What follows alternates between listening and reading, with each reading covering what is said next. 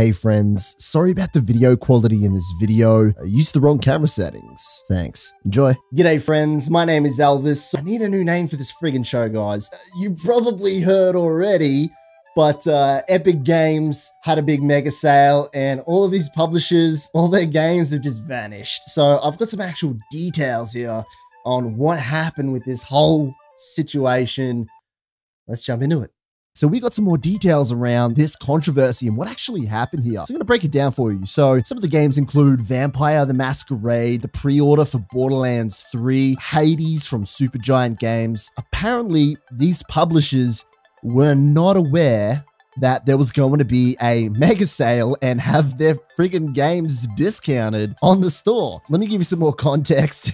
so I'm not a big fan of over exaggerating stories. The truth is Epic Games were giving a $10 discount off pretty much any game over $15 or so. But the catch is Epic Games were going to eat that loss. So the actual publishers, they weren't going to lose any money. Epic Games was going to take the hit. The director of publishing strategy at Epic Games, his name's Sergey Galyonkin. Sergey Galyonkin. Uh, the so anyway, the director put out a little bit of a comment. He said, um, number one, anyone who managed to buy the game uh, at a discount will receive it at a discount. So if you did buy one of these games, don't worry, guys, you're still going to get the same price. It's not going to disappear in your inventory. Number two is all these games will be back on the Epic Store. They're not just banished forever. Number three, we fully compensate the discount to the publisher and they do not lose any money, which uh, what I stated earlier on. And then this is number four, the publisher was informed in advance about the sale mechanism and was aware of its conditions. But then later on, he goes to update this and to say, okay, regarding point four, I was sure that Paradox were aware of the sale mechanism. After a little bit of investigation, it turns out that I was wrong. So there seems to be a bit of a communication breakdown here. Let's talk about why this even makes a difference, why this is important, considering that, you know, Epic Games were going to take the sale loss. Price is a really big factor when it comes to marketing games, guys. Let me give you an example of this. If you have two games that are identical, they're exactly the same game, but one's priced differently, most gamers are going to assume that the more expensive game is a better title. So this wraps up into branding. So most gamers assume that, you know, a $60 RPG is most likely going to be a better experience than, say, a $30 RPG. Technically, this is confirmation bias, this is a cognitive bias. A lot of people equate money to quality, especially when it comes to video games.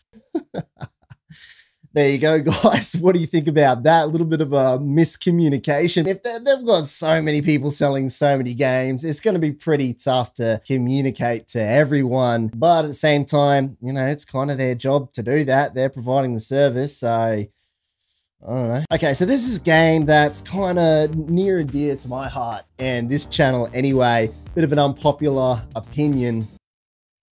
And that's Lords of the Fallen Okay, if you don't know what it is, it's basically a Dark Souls clone. You know, it's good graphics, good game, I like it, but it seems like, um, yeah, if you're a fan of the game like me, I don't think we're going to be able to be playing Lords of the Fallen 2, which has been in development, by the way, for a long time.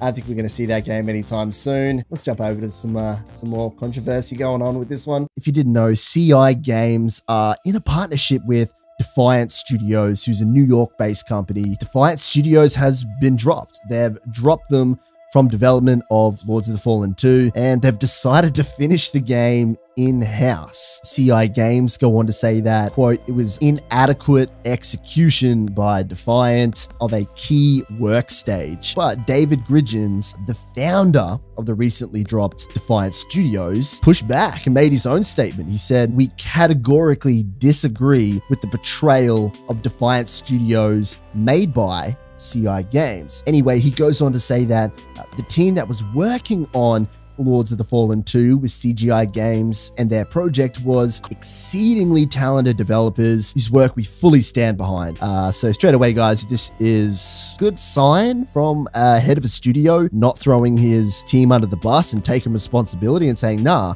I, I care about my developers. They're exceedingly good. You guys got it wrong, not us. Just to lay this story to rest, Defiant Studios, who did get dropped, you know, they've worked on Far Cry 5, Just Cause 3, Call of Duty Advanced Warfare. So, you know, they've got their foot in the door. A bit of controversy there. So that's unfortunate. It Just means fans like me of Lords of the Fallen might not get this game as soon as we would like. So, uh, yeah, quick shout outs to Overwatch. Three years old today. Pretty hard to imagine. Just want to give them a quick shout out. It's three years old, guys. They've got uh, some new merch to celebrate the event. I know some people like froth Blizzard Entertainment merchandise, but um, yeah, I might even get my greedy little grubby gross hands. That was weird. That was weird that I said that, right? Why don't I, why don't I describe my hands like that? I'd like to uh, participate in the apparel as well. I might pick up a, a new shirt, but as you can see, I kind of just rock the.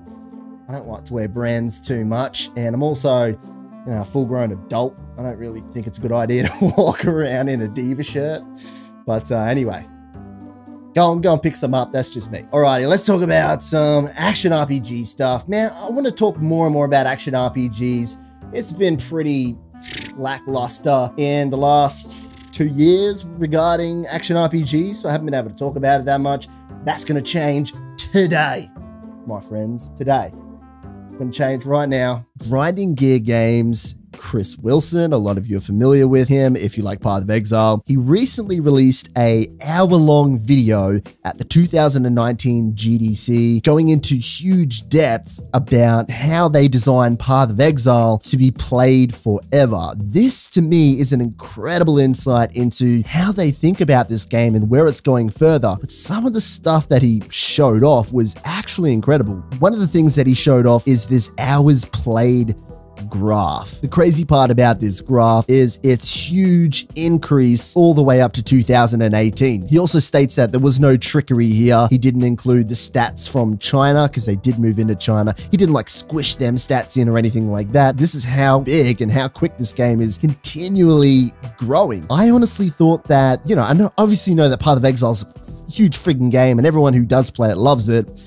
I honestly thought the hours on this graph would have been the exact reverse. Not because the game's bad, not because of the direction they're going or anything like that, just because of the nature of life cycles of games. You know, the older they get, the less popular they tend to get. Path of Exile is clearly an outlier here. They're kicking goals right now, which is great. The thing that I really liked about this is Chris talks uh, about his love for Diablo 2 and how he sunk his 20s into it and how you know, eventually when he kind of got bored of the game, he looked into other action RPGs like Titan Quest and it didn't quite translate over. It wasn't as fun as Diablo 2. So he talks about how he managed to recreate that feeling in Path of Exile. The link's below for the whole entire video if you want to watch it. It's a biggie, but it's definitely worth watching, especially if you're developing your own action RPG or just a die-hard fan of this game. Okay, so remember NetEase? Probably, you know, might still be lingering around there somewhere in your brains, but if you don't know who they are or you've forgotten,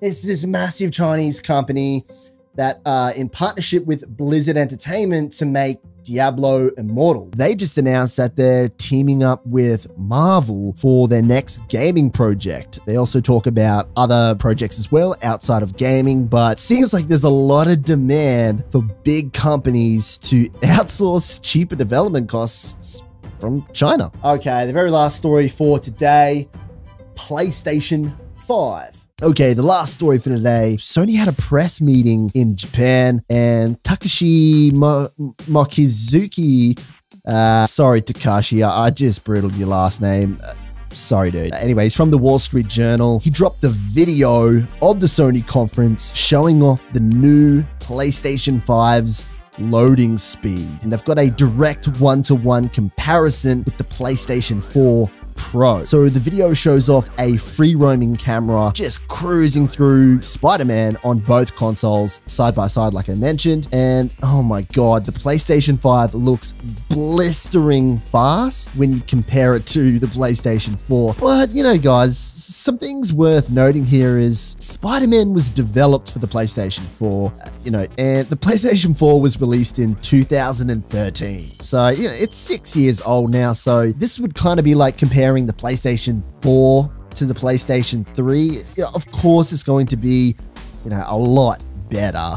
Uh, especially if the PlayStation 5 is going to be around for, you know, its six year life cycle into the future. Sorry to, you know, be the buzzkill here, but that's just kind of putting it in perspective. But it is cool to see just how much better the PlayStation 5 will perform compared to its predecessor anyway. Uh, it's looking really, really good so far, especially with the rumored 8K resolution. Oh man, it's actually looking pretty cool. Just remember, I'm looking for a new name for the show. Please, if you want to participate, um, chuck out some names for me. I'm sure they're all going to be shit, but there's going to be a couple of good ones in there. I believe in you guys help me name the show, uh, or you can just have some fun and troll me. I'll see you in two days. I'm on a two day schedule. I would do it every day, but there's not enough cool news shit for me to two finger punch about. It takes fucking two days. It takes two days for the good stuff, for the juice to come out, so I can lather you all with my fantastic sweetness. See you next time, friends.